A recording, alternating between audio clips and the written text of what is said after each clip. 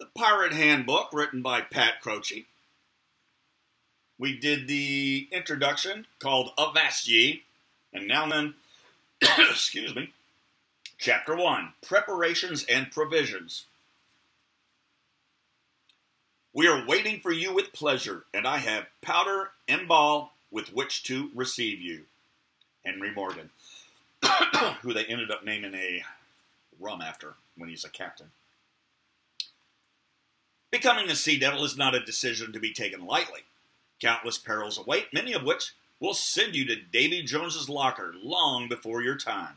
However, for those who throw caution to the wind, sign the articles and sail under the black flag, a life of action and adventure and possibly great fortune is sure to follow. Still, before you cross the gangplank and come aboard, you'll be wise to equip yourself with the specialized accoutrement and requisite skills for your chosen career. Space is at a minimum. You're not captain yet, no private cabin in your immediate future. Whatever you can pack into your duffel will have to suffice. Thus, you need to pack wisely. Necessities, not luxuries. Pirate ships are cramped enough. Besides, you'll find more than enough plunder aboard your first prize. Proper clothing is your first priority. Layers are the key. Better to have them and not need them than need them and not have them. Add or subtract based on what Mother Nature throws at you. At the bare minimum, this means a sturdy pair of canvas pants, a loose fitting cotton top, long sleeves are best for sun protection, and an overcoat that is both wind and water resistant. Hmm. Add in appropriate undergarments, and you've got a multi use outfit that will get you just about anywhere. When it comes to footwear, sailors don't have many choices. In some cases, there's no choice at all, especially if they've been press ganged or conscripted, which is forced into service. For these poor souls, the British Navy hands out slops simple canvas doublets, breeches, cotton waistcoats and drawers, stockings, linen shirts, knitted wool caps, and run of the mill shoes. Uh, not only don't these garments fit particularly well when dry, but when soaked with water or sweat or salt water, which is often wearing them is akin to punishment. Trying to perform arduous chores in a marine environment, or worse, engaging in life or death naval combat while wearing clothes that are too tight, too loose, too or uncomfortable to the point of uh, distraction is at least a nuisance, and at worst, a serious handicap. For this reason, when the weather is warm, crewmen usually go about bare chested. I recommend you do the same. A little side thing here Motley Crew. This term came about to describe the multicolored ensembles Pirates wore, representing the wide varieties of clothing plundered from various sources throughout their voyages.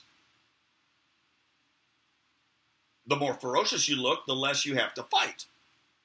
When pirates go into battle, they go loaded for bear. But some take their arsenal and imagery to another level. Blackbeard routinely wore a bandolier like sling across his blood red brocaded coat, which held a triple brace of pistols. A well used cutlass and a dagger were tucked into his belt. His long black beard was tied with ribbons, and his scraggly black hair was interwoven with slow burning cannon fuses. When lit, cast a smoky haze around his head, making him appear like a demon direct from Hades. The very sight of him often caused enemies to surrender without a struggle rather than chance dancing with the devil. All right, moving on. But fear not, the sooner you turn from merchant or naval service to piracy, the sooner you can amass a proper wardrobe. Canvas, cotton, silk, velvet. We pirates adorn ourselves in a vast array of fabrics and colors, accumulated from a wide variety of passengers, many of whom were wealthy, from all sorts of cultures and nationalities. A word of caution. Function is far more valuable than form. If it's comfortable and serves its purpose, it will be preferred over the most lavish finery. But that doesn't mean we pirates don't have a sense of style. Quite the contrary. Clothes worn aboard the ship for work and for battle differ significantly from what we wear ashore during our shall we say, leisure time pursuits. As such, any items of finery or fashion are usually reserved for our more pleasurable on island activities. After all, we aren't called gentlemen of fortune for nothing.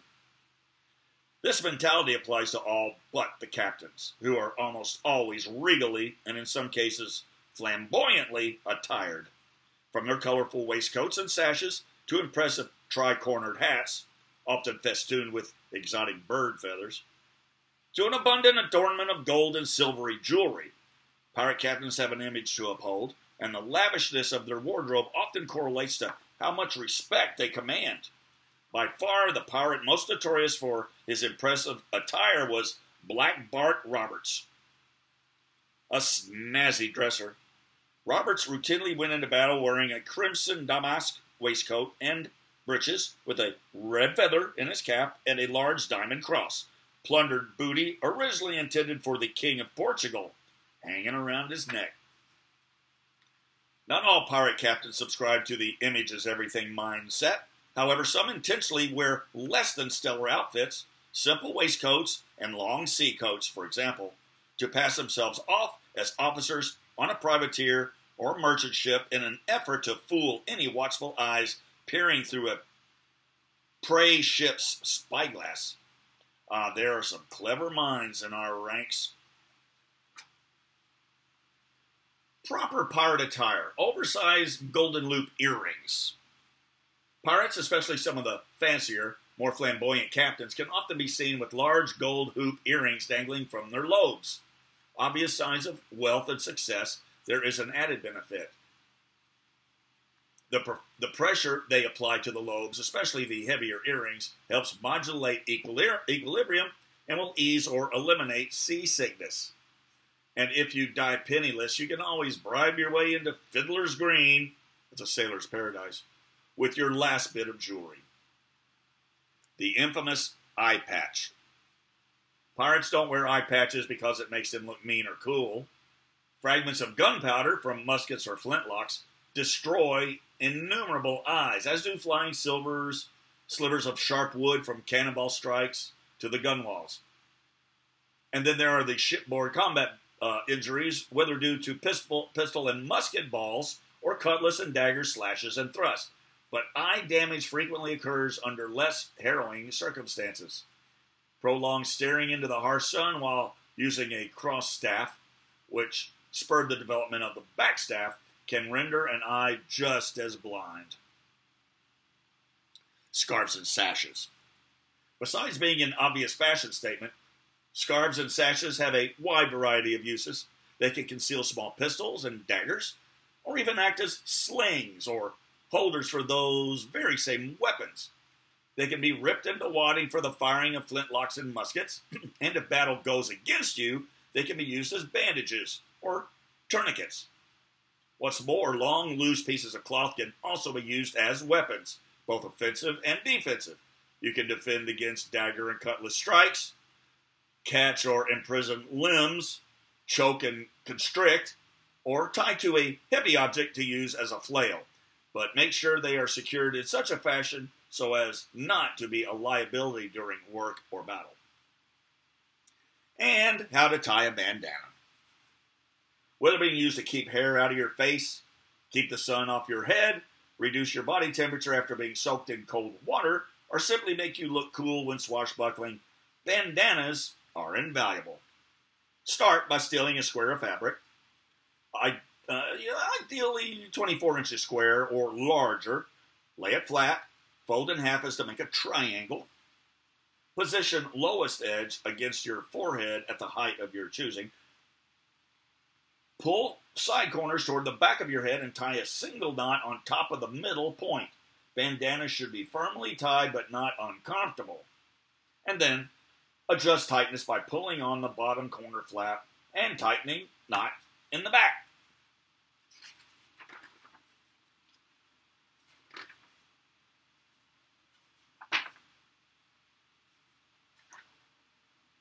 I think the chapter is fairly long. I will cause that, we will do it in parts. So that'd be part one. Long enough. That means we'll do uh, chapter one, part two next. I need some rum. Make sure to subscribe to my channel, and that way you'll know if you like this when the next part arrives.